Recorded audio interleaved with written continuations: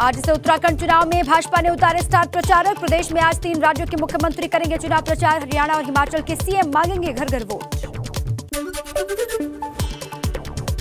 Cabinet मंत्री गणेश जोशी को चुनाव आयोग ने भेजा नोटिस। सैनिकों के एक वीडियो से छेड़छाड़ करने का आरोप है। चुनाव आयोग ने गणेश जोशी से मांगा है जवाब।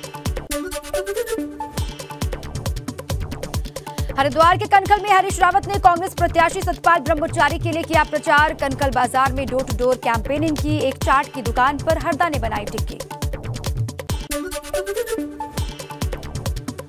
भाजपा और कांग्रेस के बाद आम आदमी पार्टी ने भी लॉन्च किया थीम सॉन्ग। भ्रष्टाचार मुक्त सरकार और चुनावी वादों के साथ मैदान में उतरी आप, पहाड़ पर दिल्ली मॉडल लागू करने का किया वादा।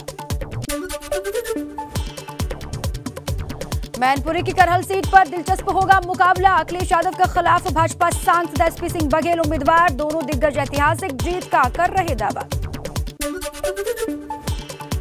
ढील के साथ चुनाव आयोग ने रैलियों पर लगी रोक 11 फरवरी तक बढ़ाई। अब एक हज़ार लोगों की जनसभा की होगी अनुमति। इंडोर बैठक में 500 लोग हो सकते हैं शामिल।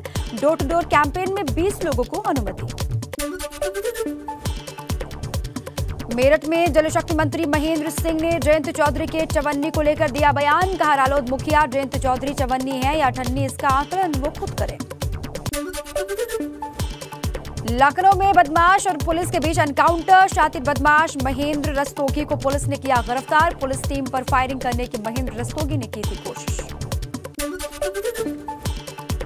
मथुरा में कपड़े की दुकान में लगी भीषण आग। आग लगने से मौके पर मची अफरा तफरी। दमकल दस्ते ने पाया आग पर काबू।